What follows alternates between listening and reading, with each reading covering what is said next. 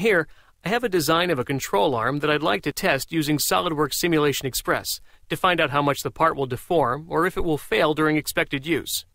In this test, the large circular opening is welded to a beefy shaft, and the downstream linkage pushes on the small hole with another shaft in a direction normal to the effective axis of the arm.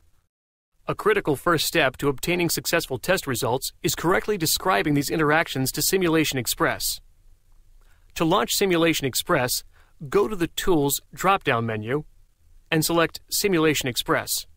When I do, Simulation Xpress appears in the task pane and is pinned to the screen. If you ever want to collapse it, simply click on the pushpin icon to unpin it, and click anywhere in the graphics area. To bring it back again, just click the Simulation Xpress icon. I'll repin the task pane to keep it open while we create the study.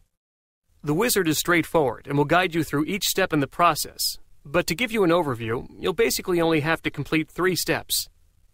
You'll have to add fixtures to the part to specify how it's held in place or restrained. You'll have to specify how external loads are applied to the part. And you'll have to assign the part's material.